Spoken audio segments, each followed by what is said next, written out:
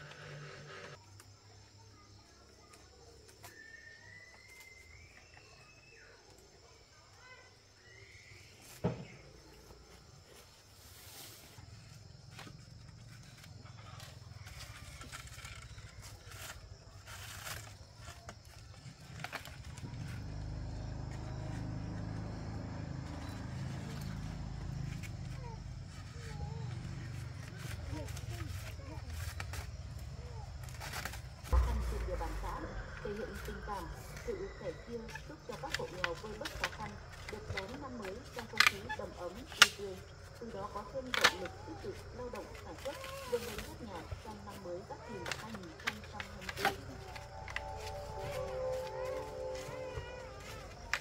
ngày 15 tháng 1 trường chính sách quyết định của chính phủ, các chỉ thị của tỉnh và quy chế hoạt động, nghị quyết của hội đồng quản trị ngân hàng chính sách xã hội các cấp phòng giao dịch ngân hàng chính sách xã hội huyện phối hợp chặt chẽ với các cấp, các ngành và các tổ chức chính trị xã hội triển khai đồng bộ và có hiệu quả các giải pháp đáp ứng kịp thời nhu cầu vay vốn của hộ nghèo và các đối tượng chính sách khác. Đồng thời, tập trung củng cố, nâng cao chất lượng tín dụng trên các lĩnh vực, góp phần tích cực thực hiện mục tiêu giảm nghèo, đảm bảo an sinh xã hội và xây dựng nông thôn mới trên địa bàn huyện năm 2023, các chỉ tiêu kế hoạch tín dụng phòng giao dịch ngân hàng chính sách xã hội huyện Lâm Bình đều đạt và vượt mục tiêu đề ra. Nguồn thu ưu đãi được giải ngân nhanh chóng, kịp thời đến các đối tượng thụ hưởng. Doanh số cho vay đạt 109 tỷ 216 triệu đồng với 2.030 lượt khách hàng được vay vốn. Tổng dư nợ các chương trình tín dụng thực hiện đến ngày 31 tháng 12 năm 2023 đạt 445 tỷ 982 triệu đồng, đạt 100% kỹ thuật kinh doanh, cho vay hộ nghèo, cận nghèo, xây dựng các công trình nước sạch, vệ sinh môi trường, nguồn vốn tín dụng đã đóng góp tích cực vào công tác giảm nghèo, xây dựng nông thôn mới, thúc đẩy phát triển kinh tế xã hội trên địa bàn huyện. Tại phiên họp, các đại biểu đã tập trung thảo luận huy động các nguồn lực cho đầu tư phát triển du lịch, phát huy tối đa tiềm năng lợi thế của huyện về yếu tố lịch sử, tự nhiên và văn hóa các dân tộc.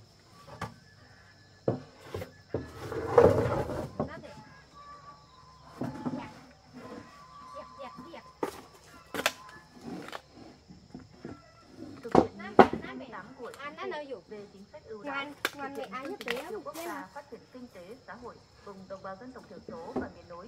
Phòng giao dịch ngân hàng chính sách xã hội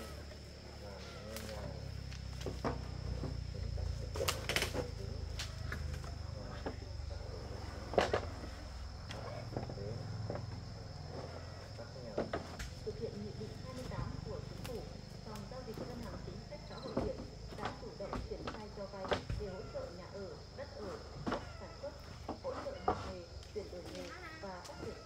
theo chuỗi giá trị cho đối tượng hộ nghèo, hộ cận nghèo, doanh nghiệp, hợp tác xã sử dụng lao động là người dân tộc thiểu số thuộc đối tượng vay vốn. Ngân hàng đã tiến hành giải ngân hỗ trợ nhà ở cho gần 150 hộ nghèo là người dân tộc thiểu số với số tiền là gần 6 tỷ đồng với lãi suất cho vay là 3% một năm, thời hạn cho vay tối đa là 15 năm. Nhân dân